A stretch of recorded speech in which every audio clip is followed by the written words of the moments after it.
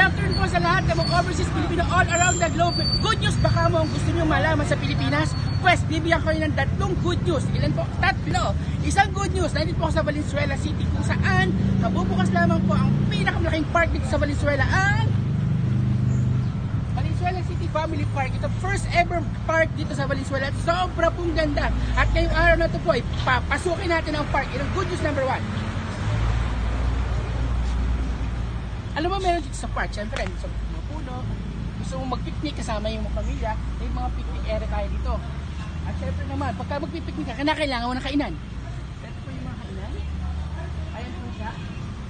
At alam niyo pa, alam niyo pa ba, ayon sa reliable source, February 13, ah, February 14 po ito binuksan, nung nakarang buwan lamang po.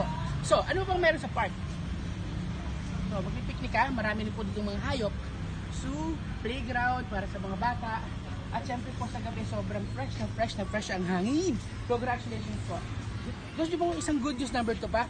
Of course, ang ating ah, ah, bagong-bagong project po dito ay Alta Special. Katabi lang po ng Alta Special ang park na to. So,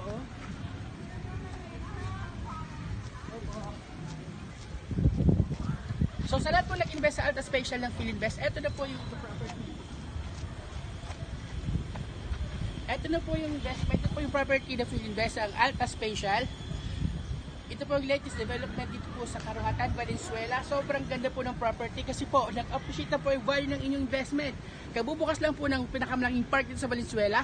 Plus kapitbahay nyo lamang po yung park. Ganyan po kaganda ang investment po ninyo kaya huwag nyo pong i-give up.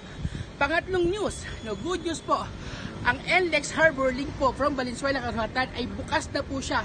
Actually, good news po from ABS, CBN, GMA, lahat po ng pahayagan dito sa Pilipinas ay nagbigay na na po ng tamang informasyon kung gaano nakaganda, kabilis papunta sa Valenzuela, papunta ng lungsod ng Kamaynilaan. So congratulations po sa lahat mga nag-invest sa Alta Special kasi po worth worth it ang inyong invest, investment. Pangatlo, pangal, pangalawa, nag-appreciate ang value po ng property. Siyempre, ang target market po ninyo maparentahan po. May malapit pong uh, university po dito, ang Fatima.